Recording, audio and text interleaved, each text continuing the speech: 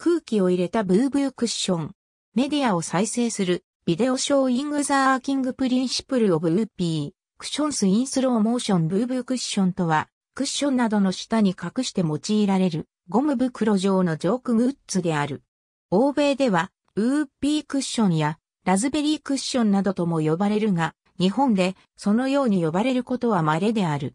ブーブークッションは悪ふざけに用いられるジョークグッズの一つで大きく口の突き出た部分を持つ通常は直径20センチメートル内外の円形のゴムシートを貼り合わせた袋状のおもちゃである。あらかじめ袋の中に空気を入れて口を閉じ、袋の上に体重をかけるなど潰すことにより、中の空気が外に押し出され、その時に口の膜の共振による放飛音に似たバズ音が響き渡り、周囲を驚かせるものである。座るものの体重がある程度以上軽いと偽装用のクッションまでしかザーツは伝わらず失敗することもある。袋の表面にはいたずらの顛末が想起されるコミカルな漫画が印刷されていることが多い。また、いたずら目的でしか使われないおもちゃであることから、ブーブークッションはその現物を見ただけでも笑いを誘う要素を持つ。材質は、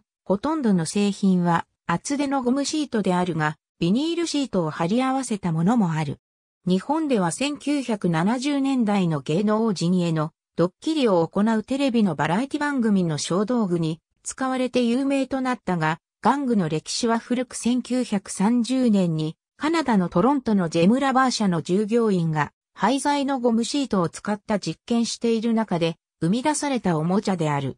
ジェムラバー社が玩具のアイデアをバラエティグッズを販売する SS アダムス社に売り込んだが、下品すぎる玩具として商品化が見送られ、後にアメリカのパーティーグッズメーカーのジョンソン・スミスカンパニー社がウーピークッションとして売り出し大ヒットした。当初は販売を断った SS アダムス社もその大ヒットに公開し、後からラズベリークッションという類似商品を売り出したという逸話が残されている。1990年代以降には袋の中にスポンジを内蔵し、自動的に空気の入るブーブークッションや遠隔操作で音を鳴らす電子音声式のブーブークッションも登場。2009年には巨大なブーブークッションがリデンプションプラス社により制作されている。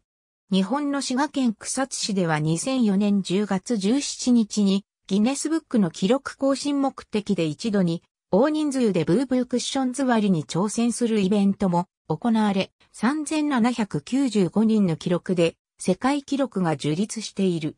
包皮は人間の生理的現象であり、生きる上で意識あるいは無意識のうちに行われる行為の一つである。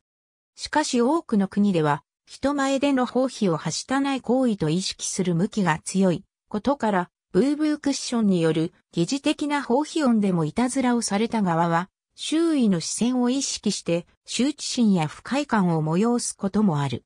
会社などの就業組織において冗談のつもりでも上司にこのいたずらを仕掛けて怒らせてしまい、減給、ボーナスの不支給、降格、官職や僻地への左遷、解雇などの報復人事をされる恐れがあるため、利用には時と場合を十分に考慮する必要がある。ありがとうございます。